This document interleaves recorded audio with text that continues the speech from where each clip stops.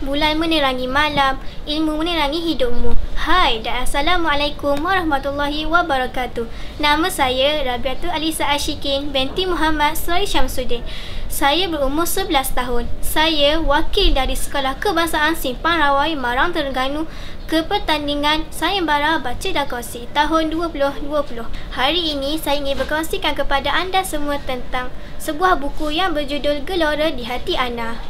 Buku ini diterbitkan oleh syarikat Ana Muslim Sendian Berhad, karya Dahlia Zarif.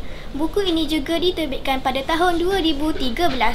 Buku ini adalah pemenang anugerah buku terbaik negara. Apa yang menarik tentang buku ni? Buku ini menceritakan tentang seorang perempuan dan dua orang adiknya iaitu Ana Salehah bersama adiknya Luqman dan Ibrahim iaitu anak yatim. Hidup mereka berubah sejak tinggal di rumah kebajikan Darul Riayah.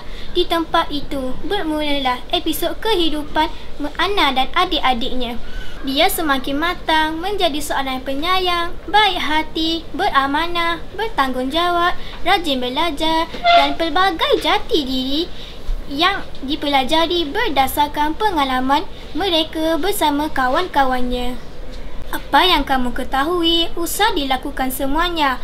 Apa yang kamu dengari, usah percayai dan diberitahu semuanya. Apa yang kamu miliki, usah dibelanjakan semuanya kata ibu kepada Ana. Hatinya dipanjat rasa takut tetapi akalnya telah bersedia lebih awal. Telah dirangka telah dirangka soalan-soalan yang bakal ditanya kepada ibunya supaya ibunya tidak berkecil hati.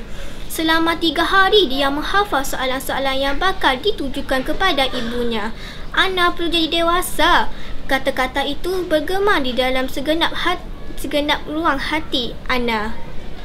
Banyak pengajaran yang boleh kita ambil iktibarkan daripada buku ini. Antaranya ialah kita harus reda dengan ketentuan ilahi. Yang kedua, kita harus kuat dan tabah melalui ujian yang diberi olehnya. Sekian, wabillahi taufiq wa hidayah. Wassalamualaikum warahmatullahi wabarakatuh.